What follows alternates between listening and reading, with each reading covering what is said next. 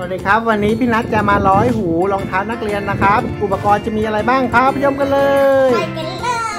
มากรมีรองเท้า เริ่มได้ อันดับแรกต้องสอดตรงก่อนซ้ายขวา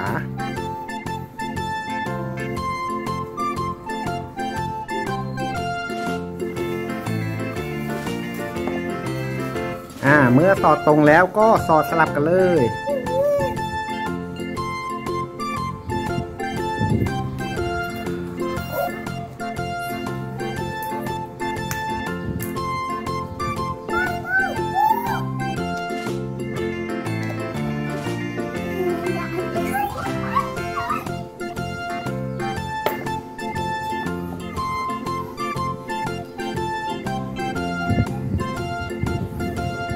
เคเสร็จแล้ว แล้วก็แล้วก็จัดให้สวยงาม ค่อยๆดึงเล็กๆน้อยๆอืมค่อยๆดึงเล็กๆน้อยๆ